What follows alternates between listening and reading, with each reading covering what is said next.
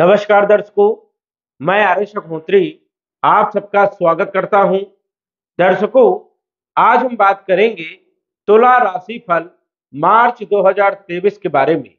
मार्च का महीना तुला राशि वालों के लिए कैसा रहेगा? कौन कौन से ग्रहों का राशि परिवर्तन होगा? ग्रहों के राशि परिवर्तन से कौन से क्षेत्रों में क्या बदलाव देखने को मिलेगा?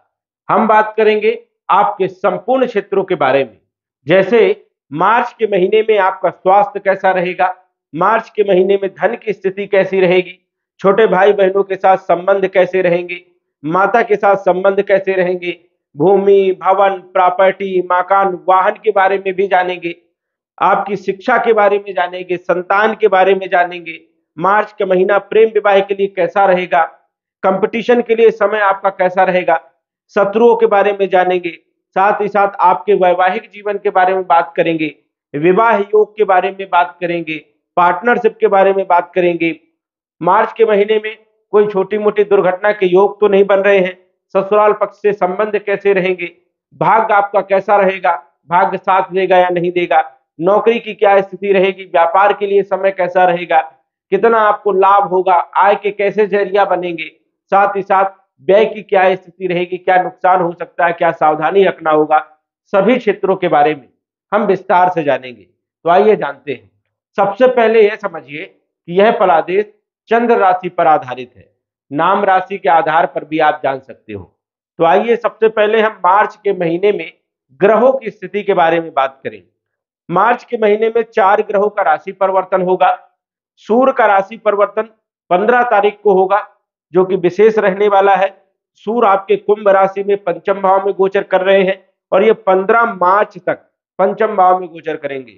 पंद्रह मार्च के बाद छठे भाव में मीन राशि में गोचर करेंगे। वही मंगल की बात करें तो मंगल तेरह तारीख से मिथुन राशि में गोचर करेंगे। लेकिन तेरह तारीख के पहले वृषभ राशि में अष्टम भाव में गोचर करेंगे और तेरह तारीख के बाद भाग्य भाव में मिथुन राशि में। इसके बाद शुक्र की यदि बात करें तो शुक्र जो है 12 तारीख से मेष राशि में गोचर करेंगे।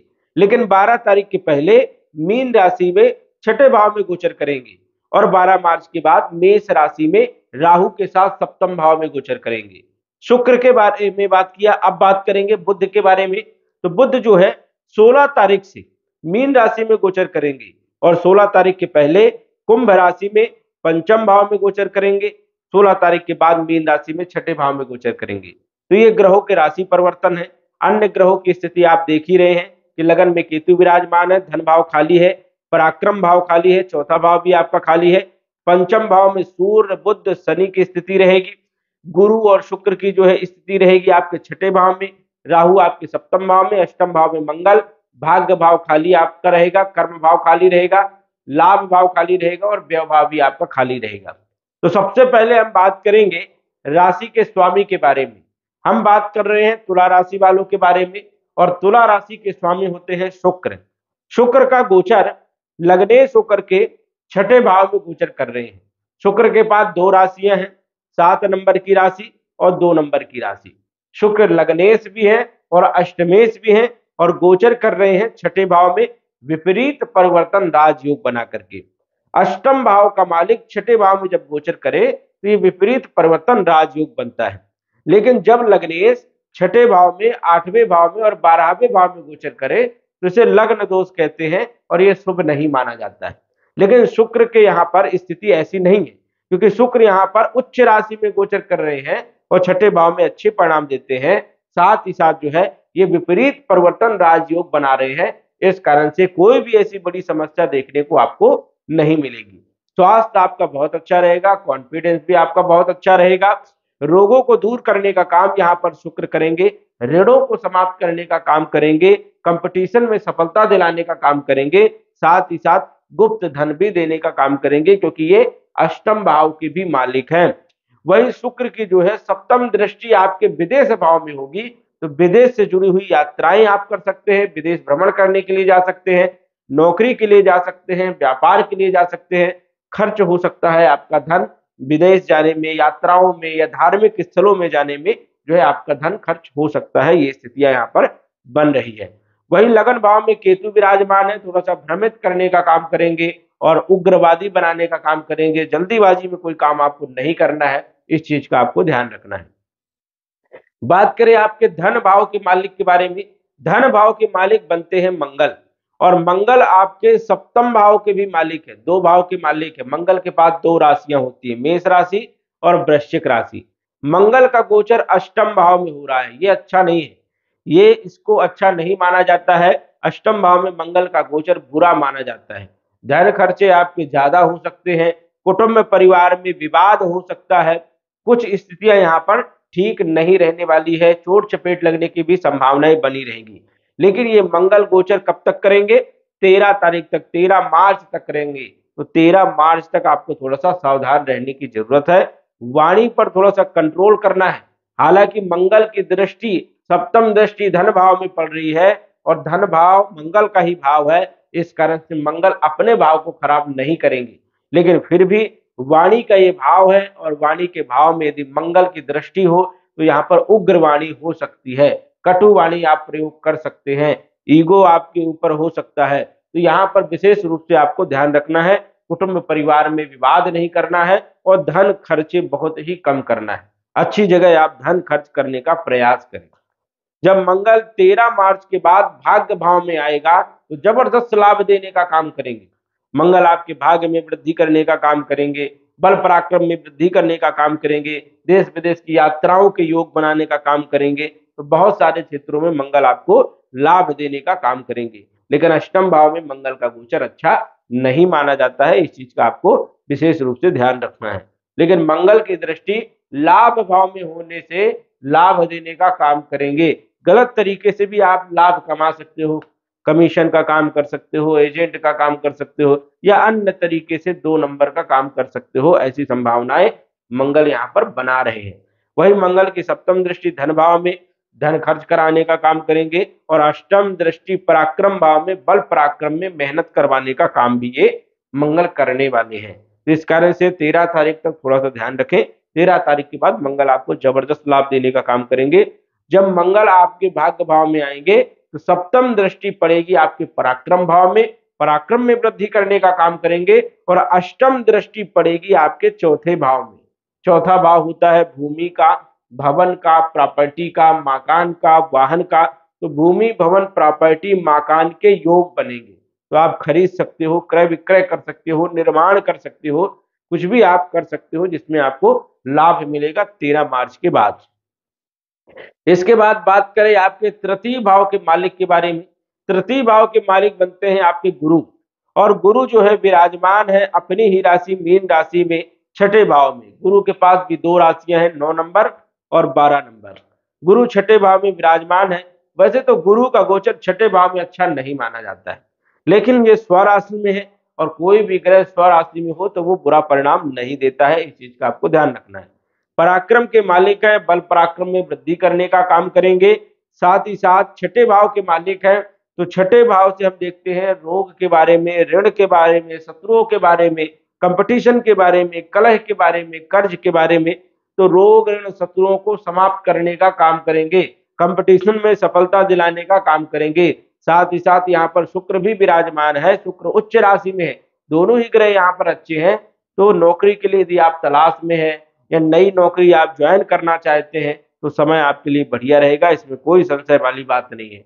गुरु की पंचम दृष्टि आपके नौकरी के क्षेत्र में, व्यापार के क्षेत्र में, कर्म के क्षेत्र में पड़ेगी। तो नौकरी में प्रमोशन दिलाने का काम भी कर सकते हैं। नौकरी में सैलरी वृद्धि का भी काम कर सकते हैं, जहाँ पर आप ट्रांसफ़र चाहते हैं, संभावनाएँ है कि वहाँ पर आपको ट्रांसफ़र भी मिल सकता है। साथ ही साथ जो है, आपके व्यापारों में वृद्धि करने का काम करेंगे। वही गुरु की जो है, सप्तम दृष्टि विदेश भाव में, विदेश की यात्राओं का योग बनेगा। कहीं आप घूमने जा सकते हो, या फिर अपने देश में ही कहीं भ्रमण करने जा सकते हो, धार्मिक स्थलों में जा सकते हो, जिसमें आपको लाभ मिलेगा। वही धन भाव में गुरु की दृष्टि होने से नवम दृष्टि गुरु की धन भाव में होगी तो धन की स्थिति को बनाने का काम करेंगे। धन की जो स्थिति है वो बरकरार रहेगी और यहाँ पर गुरु आपको धन के लिए सपोर्ट करने का काम करेंगे, लेकिन खर्चों का आपको विशेष रूप से ध्यान रखना होगा। तो गुरु आपको ज़बरदस्त लाभ देने का काम करेंगे, व्यापार में भी, नौकरी में भी और कंपटीशन में भी। वही बात करें आपके चौथे भाव के मालिक के बारे में। चौथे भाव के मालिक है आपके शनि। क्योंकि दस नंबर दस नंबर मकर राशि जिसके स्वामी शनि और कुंभ राशि के स्वामी भी शनि होते हैं। दो राशियों के स्वामी है। और शनि अपनी ही राशि में विराजमान है, कुंभ राशि में। इस कारण से जो है शनि पंचम भाव में, त्रिकोण भाव में विराजमान है तो तुला राशि वालों के लिए ये ज़बरदस्त लाभ देने का काम करेंगे। लेकिन शनि अभी अस्त चल रहे हैं और शनि पाँच मार्च के बाद उदय हो जाएँगे तो ज़बरदस्त लाभ देने का काम करेंगे। ये भी काफ़ी अच्छी स्थिति यहाँ पर बन रही है। शनि आपके मालिक है, भूमि, भवन प्रॉपर्टी के मालिक है तो भूमि, भवन प्रॉपर्टी मकान के योग बनेंगे और माता का सुख भी आपको मिलेगा। साथ ही साथ पंचम भाव के मालिक है तो शिक्षा के लिए समय अच्छा रहेगा, संतान के लिए समय अच्छा रहेगा और प्रेम विवाह के लिए भी समय आपका अच्छा रहने वाला है। लेकिन वैवाहिक जीवन में हल्की फुल्की समस्याएँ देखने को मिलेंगी, क्योंकि शनि की दृष्टि, तीसरी दृष्टि आपके सप्तम भाव में पड़ेगी तो हल्की फुल्की जो है स्थिति यहाँ पर मन मुटाव की बन सकती है, ये आपको ध्यान रखना है। शनि की लाभ भाव में दृष्टि होने से जो है मेहनत ज़्यादा करना पड़ सकता है और शनि की यदि दसम दृष्टि की बात करें तो धन भाव में जो है शनि की दसम दृष्टि रहेगी, जिससे धन के लिए आपको ज़्यादा प्रयास करना पड़ सकता है और कहीं ना कहीं जो है खर्चे भी आपके बढ़ सकते हैं, इस चीज़ का भी आपको ध्यान रखना है। वाणी पर भी आपको विशेष रूप से ध्यान रखना है। वही यदि हम बात करें आपके छठे भाव के मालिक के बारे में, छठे भाव के मालिक गुरु है, जो कि हमने आपको बताया कि गुरु आपको ज़बरदस्त लाभ देने का काम करेंगे। मंगल आपके सप्तम भाव के मालिक है। और मंगल यदि सप्तम भाव के मालिक है तो वैवाहिक जीवन के मालिक है, अष्टम भाव में गोचर कर रहे हैं। दाम्पत्य जीवन में थोड़ा सा ध्यान रखने की आपको विशेष ज़रूरत है, क्योंकि मंगल अष्टम भाव में, मृत्यु के भाव में गोचर कर रहे हैं, ये शुभ नहीं है। मन मुटाव की स्थिति बनी रहेगी, क्योंकि शनि की भी तीसरी दृष्टि पड़ रही है तो कहीं ना कहीं पत्नी के साथ संबंध खराब हो सकते हैं। इस चीज़ का आपको ध्यान रखना है कंप्रोमाइज करके चलना है। इस चीज़ का आपको विशेष रूप से ध्यान रखना है। पार्टनरशिप में भी हल्की फुल्की जो है, स्थिति खराब होती हुई नज़र आ रही है तो इसलिए यहाँ पर भी आपको ध्यान रखना है। क्योंकि राहु यहाँ पर पहले ही विराजमान है, जो कि आपको कंफ्यूज करेंगे, शक पैदा करेंगे और उससे विवाद हो सकता है। इस चीज़ का आपको ध्यान रखना है। अष्टम भाव के मालिक शुक्र हैं, ससुराल पक्ष के संबंधों की बात करें तो विपरीत परिवर्तन राजयुग में है तो ससुराल पक्ष के संबंध आपके बढ़िया रहेंगे। गुप्त धन भी प्रदान करने का काम यहाँ पर शुक्र करेंगे। शुक्र का राशि परिवर्तन हो जाएगा, बारह तारीख को ये मेष राशि में चले जाएँगे और शुक्र का गोचर सप्तम भाव में अच्छा नहीं माना जाता है। ये भी चीज़ है यहाँ पर, सप्तम भाव में शुक्र का गोचर अच्छा नहीं माना जाता है। तो यहाँ पर दाम्पत्य जीवन को लेकर के हल्की फुल्की मनमुटाव की स्थिति बन सकती है। इस चीज़ का आपको ध्यान रखना है। साथ ही साथ राहु यहाँ पर रहेगा। तो कहीं ना कहीं अफेयर के योग आपके बन सकते हैं, प्रेम योग बन सकते हैं, इसलिए आपको थोड़ा सा सतर्क रहना होगा और वो आपको नुकसानदायक रहेगा। इस चीज़ का भी आपको विशेष रूप से ध्यान देना है। भाग्यश आपके बनते हैं बुद्ध और बुद्ध का गोचर है पंचम में। नवम पंचम योग है ये। ज़बरदस्त लाभ देने का काम करेंगे बुद्ध यहाँ पर। बुद्ध 16 तारीख तक रहेंगे पंचम भाव में। और ये मालिक है त्रिकोण भाव के और त्रिकोण में ही विराजमान है। साथ ही साथ बुद्ध आपके विदेश भाव के भी मालिक है। जो लोग विदेश जाना चाहते हैं तो समय बढ़िया है, बिल्कुल जा सकते हैं। ग्रीन कार्ड के लिए अप्लाई करना चाहते हैं तो बिल्कुल कर सकते हैं, कोई दिक्कत वाली बात नहीं है। उच्च शिक्षा के योग भी बनेंगे, संतान के योग भी बनेंगे, प्रेम विवाह में सफलता दिलाने का काम करेंगे, साथ ही साथ भाग में वृद्धि करने का काम करेंगे। वही बुद्ध की सप्तम दृष्टि लाभ भाव में होने से व्यापार से लाभ देने का काम करेंगे। तो ये भी स्थिति यहाँ पर बहुत अच्छी है। विदेश भाव के मालिक होने के कारण विदेश के योग बनाने का भी काम यहाँ पर बुद्ध करेंगे। बुद्ध आपको सपोर्ट करने का काम करेंगे। दसम भाव के मालिक चंद्रमा है और चंद्रमा का फलादेश संभव नहीं होता है, लेकिन गुरु की दृष्टि पड़ रही है, इसलिए आपका नौकरी और व्यापार की स्थिति आपकी बहुत अच्छी रहेगी, इसमें कोई दिक्कत वाली बात नहीं है, कोई यहाँ पर नुकसान की स्थिति नहीं है। लाभ के मालिक आपके सूर हैं, पंचम भाव में गोचर कर रहे हैं। लाभ होगा, आय में वृद्धि होगी। इसमें कोई संशय वाली बात नहीं है, क्योंकि सूर्य अपनी राशि को देख रहे हैं, पंद्रह तारीख तक, पंद्रह मार्च तक तो मन की इच्छाओं को पूरा करने का काम करेंगे, आपकी आवश्यकताओं को पूरा करने का काम करेंगे और लाभ देने का काम करेंगे। पंद्रह तारीख के बाद जब सूर्य छठे भाव में आएँगे तो और अच्छे परिणाम देने का काम करेंगे। नौकरी के लिए, सरकारी नौकरी के लिए ज़बरदस्त योग बनाएँगे। कंपटीशन में सफलता दिलाने का काम करेंगे और शत्रुओं को परास्त करने का काम भी यहाँ पर सूर्य करने वाले हैं। तो सूर्य की स्थिति भी बहुत अच्छी रहेगी। इसके बाद बारहवें भाव के मालिक बुद्ध है, जो कि मैंने बताया कि बुद्ध जो है, आपके पंचम भाव में बहुत अच्छे परिणाम देने का काम करेंगे, लेकिन ये 16 तारीख तक पंचम भाव में रहेंगे, उसके बाद ये चले जाएँगे छठे भाव में। छठे भाव में 16 मार्च के बाद जब जाएँगे तो यहाँ पर नीच के हो जाएँगे। लेकिन यहाँ पर नीच भंग राजयोग भी बनेगा, जिस कारण से यहाँ पर आपको कोई भी दिक्कत वाली बात नहीं है। दोनों ही भाव में बुध आपको अच्छे परिणाम देने का काम करेंगे। लेकिन आपको उपाय करना है शुक्र का, क्योंकि शुक्र जब सप्तम भाव में गोचर करेंगे 12 मार्च के बाद तो हल्की फुल्की स्वास्थ्य में समस्याएँ भी देने का काम करेंगे और दाम्पत्य जीवन में समस्या पैदा करने का काम करेंगे। इसलिए आपको शुक्र का जो है जप करना है। ओम सुम शुक्रायण इस मंत्र का जप करना है। और स्त्री वर्ग को हमेशा आपको प्रसन्न रखना है, उनके साथ विवाद नहीं करना है और कोई भी ऐसी हरकत नहीं करना है जिससे स्त्री वर्ग को किसी भी प्रकार का नुकसान हो या वो परेशान हो। तो इस चीज़ का आपको विशेष रूप से ध्यान रखना है और यदि देखा जाए तो तुला राशि वालों के लिए मार्च का महीना शानदार है, इसमें कोई संशय वाली बात नहीं है, काफ़ी अच्छी स्थिति है, हर सारे क्षेत्रों में आपको लाभ देखने को मिलेगा। तो दर्शकों, आज बस इतना ही, धन्यवाद। यदि आप अपनी कुंडली का विश्लेषण घर बैठे करवाना चाहते हैं तो दिए गए व्हाट्सएप नंबर से संपर्क करें। साधारण फ़ीस जमा करके आप अपनी कुंडली का विश्लेषण फ़ोन के माध्यम से घर बैठे ही करवा सकते हैं और जान सकते हैं अपने भूत, भविष्य और वर्तमान के बारे में। धन्यवाद। WhatsApp number nine four seven nine eight nine